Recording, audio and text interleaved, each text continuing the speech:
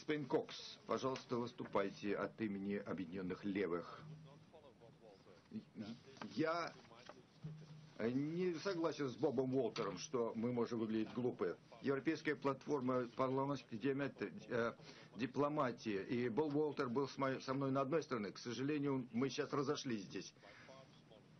На самая маленькая э, группа, мы не можем оказать влияние на голосование, мы только можем использовать свои аргументы, почему мы за эту резолюцию и почему мы возражаем поправок мы, э, которые пытаются направить на изменения. Мы считаем важным послать сигнал, что э, несоблюдение территориальной целостности – это явное нарушение международного права. И эта резолюция подчеркивает это и поддерживаем это. Второе, мы считаем важным, что крупнейшее государство члена э, ведет э, гражданскую войну на Украине. Мы должны дать понять, что э, мы уверены, что Россия не делает все возможное для прекращения этого. Мы поддерживаем эту резолюцию. Мы считаем важным дать понять другим э, контрагентам в Евросоюзе и в Соединенных Штатах не, не вмешиваться в конфликт на Украине и помочь прекратить противостояние вооруженное на Украине. Если эта резолюция направлена на это, то мы ее поддерживаем. Четвертое.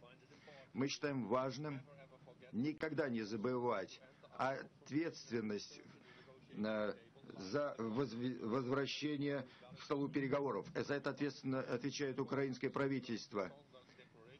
Декларация э, э, заявление Порошенко надо учесть, что, э, который сказал, что нет военного решения эту конфликту. Если это будет отражено, то мы поддержим эту декларацию. Длинные, трудные переговоры между членами политическими группами поддержали 4-5 руководителей групп.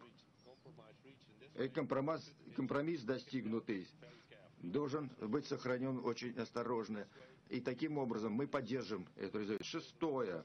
Поскольку резолюция является компромиссом, у нас есть серьезные проблемы с поправками, которые, согласно докладу, изменят сам характер резолюции. Мы хотим э, авторов этих резолюций внимательно подумать, хотят ли они э, эти изменения вносить и поставить под угрозу весь проект. Седьмое. Характер резолюции, если изменится, то это может послужить аргументом для российского э, парламента в пользу того, чтобы прекратить контакты с нашей ассамблеей. Это будет способствовать ухудшению позиции э, э, в отношениях с нашим советом и, правам, и судом по правам человека, который представляет 130 миллионов граждан России. Восьмое. На этой неделе председатель Комитета министров объяснил, что нет ограничений, которые предлагаются в отношении санкций в отношении российского правительства.